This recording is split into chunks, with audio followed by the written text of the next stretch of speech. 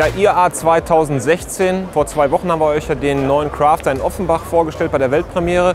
Und jetzt lässt VW quasi nochmal die Katze aus dem Sack, nämlich hier mit dem E-Crafter hinter mir.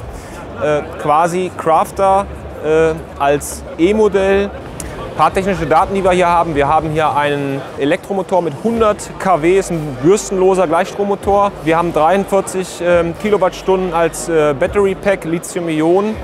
Reichweite ist angegeben mit roundabout gut 200 Kilometern, also 208 Kilometer steht, glaube ich, exakt in, der, in den technischen Daten. Was eigentlich sehr cool ist oder zumindest sehr cool klingt, ist die Ladezeit. Äh, man kann nämlich über Gleichstrom laden in 45 Minuten äh, auf 80 Prozent wieder aufladen. Das kennt man ja, die Tesla Supercharger. Das ist im Prinzip die gleiche Technik, die man hier anwendet. Ja, was auffällt, was ich ziemlich cool finde, ist zum normalen LED-Tagfahrlicht, wie die neuen Crafter das ja haben, hat man hier noch als Erkennungsserie der, der E-Modelle eine LED-Spange unten in der Schürze. Ich habe nachgefragt, es hört sich so an, als wenn es das auch in die Serie schaffen wird. Es soll ihn 2017 schon beim Händler geben. Es wäre auch relativ sensationell aus meiner Sicht. VW begrenzt die Höchstgeschwindigkeit auf 80 km/h. Angeblich nicht, weil der Motor dann zu heiß wird oder die Batterien irgendwie überkochen, äh, sondern man sagt einfach, okay, 80 km/h, dabei wollen wir das hier belassen, um die Reichweite eben auch in einen praxisgerechten Bereich äh, zu setzen.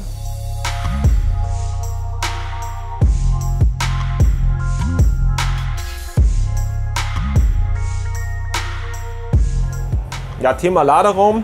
Ähm, das ist ja jetzt ein normaler Kastenwagen in dem Sinne, so ausgerüstet als Werkstattwagen, könnte man sogar irgendwie sich auf der Baustelle vorstellen als Servicefahrzeug. Und die Höhe des Laderaums, also der Laderaumboden, ist so wie beim 4x4 oder beim Heckantrieb. Das heißt, da wo sonst die Kardanwelle läuft zu den hinteren Rädern, da ist jetzt der Platz genutzt, unter anderem für die Batterien. Das ist eigentlich ganz clever gemacht. Ich habe also gar keine Einschränkung im Laderaum. Äh, durch die installierten Batterien. Und was man uns auch gesagt hat, wenn jetzt in Zukunft sich die Batterieentwicklung weiter fortsetzt, dass man auch in der Lage wäre, eben modular das 43 kW Pack gegen ein 60 oder 80 kW Pack auszutauschen, basierend auf der gleichen Technik. Sonst muss am Fahrzeug dann eigentlich nichts verändert werden und dann kann ich auch in Zukunft äh, eben die, die Effekte der Entwicklung weiter nutzen. Ja, was mir sonst so am Fahrzeug hier auffällt oder was mir auch gut gefällt. Ich habe hier jede Menge Leuchten im Dach, 15 LED-Leuchten, die das hier schön ausleuchten. Teilweise hat man ja bei dieser Klasse auch eher so Funzeln irgendwo im Dach, die das mehr schlecht als recht ausleuchten. Macht einen guten Eindruck. Ja, im Innenraum, der Innenraum beim E-Crafter, äh, da findet man hier Anleihen eben an die äh, Elektromodelle wie der GTE bei VW aus dem Pkw-Bereich. Äh, blaue Ziernaht hier am Lenkrad, hier der Schaltsack mit blauen Ziernähten. Sieht schon sehr stylisch aus, was ich auch cool finde. Das haben die anderen aber auch gehabt in der Ausstattung. Das unten abgeflachte Lenkrad hat man sonst beim GTI mal gehabt oder auch äh, bei anderen sportlich orientierten Autos. Wenn ich hier vor mir aufs Armaturenbrett gucke, ich habe rechts der Tacho. Ansonsten erkenne ich eigentlich keine alten Bekannten wieder. Die Tankanzeige ist jetzt die Ladezustandsanzeige. Hier sehe ich eine, ja wahrscheinlich ist das hier die Anzeige der abgerufenen Leistung. Da sehe ich auch den Charge-Bereich hier in grün, wenn er also rekuperiert. Sprich, äh, wenn ich im Schiebebetrieb bin, dann äh, fungiert eben der äh, Motor als Generator und lädt die Akkus auf.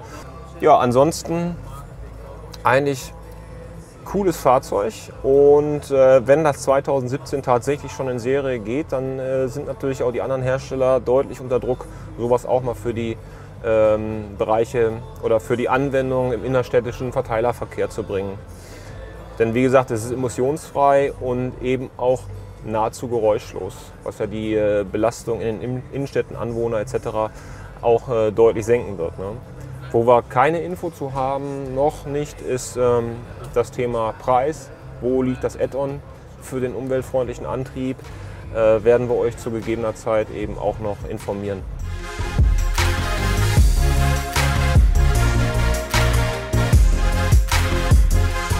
Und die Frage, was haltet ihr vom neuen E-Crafter? Schreibt es uns in die Kommentare unten rein.